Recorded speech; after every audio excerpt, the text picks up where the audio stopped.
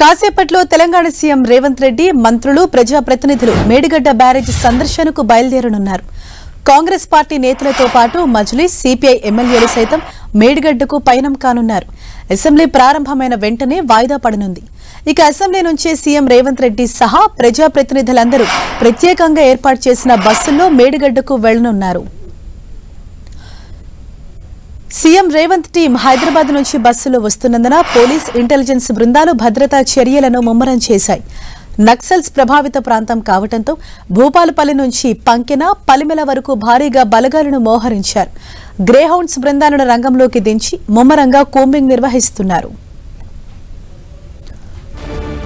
CM రేవంత్తో ప్రజాప్రతినిధులంతా మధ్యాహ్నం మూడు గంటల కల్లా మేడిగడ్డకు చేరుకోనున్నారు.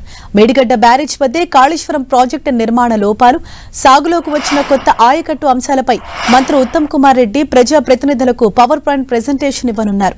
ప్రజాప్రతినిధుల మేడిగడ్డ సందర్శన రెండు గంటల పాటు కొనసాగనుంది.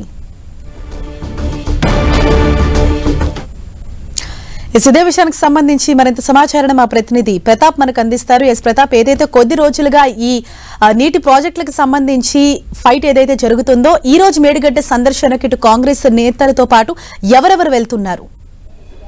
సరిగ్గా మరి కాసేపట్లో అసెంబ్లీ నుంచి ఎమ్మెల్యేలు ఎమ్మెల్సీలతో పాటు మంత్రులు అదేవిధంగా సీఎం కూడా ఈ బస్సులోనే వెళ్ళనున్నారు ఇప్పటికే అసెంబ్లీ ప్రాంగణంలో బస్సులు కూడా ప్రత్యేకంగా మూడు బస్సులను కూడా ఏర్పాటు చేయడం జరిగింది. టీఎస్ఆర్టీసీకి సంబంధించిన బస్సులన్నింటి కూడా ఏర్పాటు చేయడం జరిగింది. ఇప్పుడు అసెంబ్లీ మరి కాసేపట్లో ఇప్పుడు స్టార్ట్ అవుతుంది. అసెంబ్లీ స్టార్ట్ అయిన తర్వాత పది నిమిషాల్లో వాయిదా పడుతుంది. పది నిమిషాల్లో అంటే ముందు ఇప్పుడు అసెంబ్లీ స్టార్ట్ అయిన వెంటనే స్పీకర్ దీనికి సంబంధించిన మేడిగడ్డ విజిట్కి సంబంధించిన అంశాన్ని అనౌన్స్ చేస్తారని నిన్న ఎట్లాగో మంత్రి ఇరిగేషన్ మంత్రి ఉత్తమ్ కుమార్ రెడ్డి ఇదే అంశానికి సంబంధించి ప్రస్తావించారు. కాబట్టి అన్ని పక్షాల నేతలతో పాటు ఎమ్మెల్యేలందరూ కూడా రావాలని నిన్ననే ఆహ్వానం పలికారు. అందులో ఆహ్వానం మేరకు అందరూ కూడా ప్రస్తుతానికి అయితే కాంగ్రెస్ ఎమ్మెల్యేలతో పాటు సిపిఐ కానీ మజ్లీస్ ఎమ్మెల్యేలు కూడా వెళ్ళే అవకాశం ఉన్నట్టు కూడా తెలుస్తుంది. అయితే బీజేపీ ఎమ్మెల్యేలు తాము రాబోవట్లేదని చెప్పేసి ఇప్పటికే చెప్పడం జరిగింది. నల్గొండ బీఆర్ఎస్ ఎమ్మెల్యేలు అంతా కూడా నల్గొండ సభలో ఏర్పాటు చేసింది కాబట్టి బీఆర్ఎస్ ఎమ్మెల్యేలు అంతా అటు వెళ్ళే అవకాశం ఉంది. సో మొత్తం మీద మరి కాసేపట్లో ఇప్పుడు అసెంబ్లీ స్టార్ట్ అయింది. మరి కాసేపట్లో పది నిమిషాల్లో అసెంబ్లీ వాయిదా పడిన తర్వాత నేరుగా ఇక్కడ నుంచి ఎమ్మెల్యేలు అంతా మేడిగడ్డ విజిట్కి వెళ్ళబోతున్నారు. మంత్రులు సీఎంతో పాటు అందరూ కూడా ఇక్కడ నుంచి నేరుగా విజిట్ అయ్యి ఇక్కడ నుంచి వెళ్ళిన తర్వాత మూడు గంటలకి అక్కడ చేరుకునేటట్టుగా కూడా ప్లాన్ చేయడం జరిగింది. అంతా కూడా బస్సులలో వెళ్ళిన తర్వాత అక్కడ